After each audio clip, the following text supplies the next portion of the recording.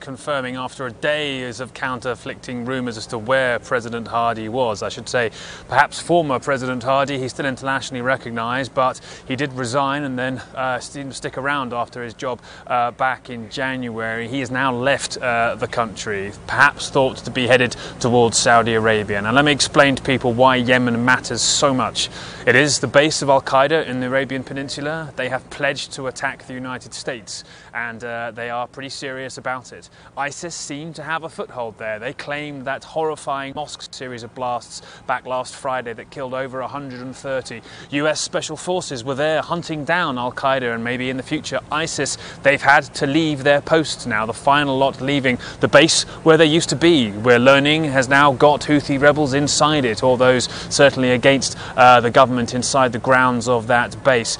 A stark change in what's happening in that country. It's vital geopolitically because it's to the south of Saudi Arabia, oil rich uh, Saudis, really worried about what's happening to the south of them. They're predominantly Sunni in the Muslim world, and in Yemen, we're seeing the Houthi rebels, who are predominantly Shia and some say backed by Iran, sweeping to power. Those are the ones who kicked President Hadi out of his uh, re- residence in the uh, capital, his administration building in the capital back in January. They're now the ones advancing on Aden, the city in the south to which President Hadi fled.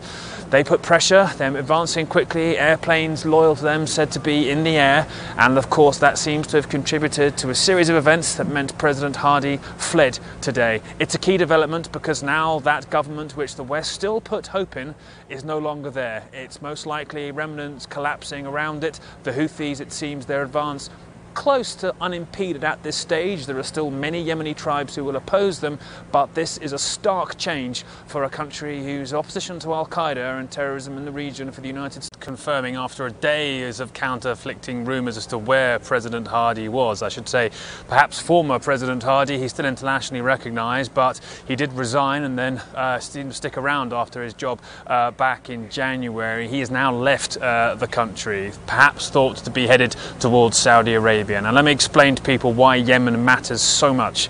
It is the base of Al Qaeda in the Arabian Peninsula. They have pledged to attack the United States, and uh, they are pretty serious about it. ISIS seemed to have a foothold there. They claimed that horrifying mosque series of blasts back last Friday that killed over 130. US special forces were there hunting down Al Qaeda and maybe in the future ISIS. They've had to leave their posts now, the final lot leaving the base where they used to be. We're learning has now got Houthi rebels inside it, or those certainly against uh, the government inside the grounds of that base.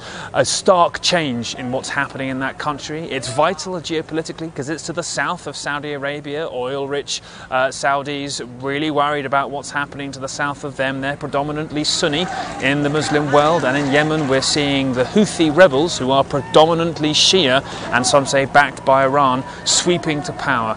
Those are the ones who kicked President Hadi out of his uh, re- residence in the uh, capital, his administration building in the capital back in January. They're now the ones advancing on Aden, the city in the south to which President Hadi fled. They put pressure, they're advancing quickly, airplanes loyal to them said to be in the air, and of course that seems to have contributed to a series of events that meant President Hadi fled today. It's a key development because now that government, which the West still put hope in, is no longer there. It's most likely remnants collapsing around it. The Houthis, it seems, their advance close to unimpeded at this stage. There are still many Yemeni tribes who will oppose them, but this is a stark change for a country whose opposition to Al Qaeda and terrorism in the region for the United States. Confirming after a days of counter-afflicting rumours as to where President Hadi was. I should say, perhaps former President Hadi, he's still internationally recognised, but he did resign and then uh, didn't stick around after his job uh, back in January. He has now left uh, the country, perhaps thought to be headed towards Saudi Arabia. Now, let me explain to people why Yemen matters so much. It is the base of Al Qaeda in the Arabian Peninsula. They have pledged to attack the United States, and uh, they are pretty serious about it. ISIS seem to have a foothold there. They claim that horrifying mosque series of blasts back last Friday that killed over 130. US special forces were there hunting down Al Qaeda and maybe in the future ISIS. They've had to leave their posts now, the final lot leaving the base where they used to be. We're learning has now got Houthi rebels inside it, or those certainly against uh, the government inside the grounds of that base. A stark change in what's happening in that country. It's vital geopolitically because it's to the south of Saudi Arabia, oil rich uh, Saudis, really worried about what's happening to the south of them. They're predominantly Sunni in the Muslim world, and in Yemen, we're seeing the Houthi rebels, who are predominantly Shia and some say backed by Iran, sweeping to power. Those are the ones who kicked President Hadi out of his uh, re- residence in the uh, capital, his administration building in the capital back in January. They're now the ones advancing on Aden, the city in the south to which President Hadi fled. They put pressure, they're advancing quickly, airplanes loyal to them said to be in the air, and of course that seems to have contributed to a series of events that meant President Hadi fled today. It's a key development because now that government, which the West still put hope in, is no longer there. It's most likely remnants collapsing around it. The Houthis, it seems, their advance close to unimpeded at this stage. There are still many Yemeni tribes who will oppose them, but this is a stark change for a country whose opposition to Al Qaeda and terrorism in the region for the United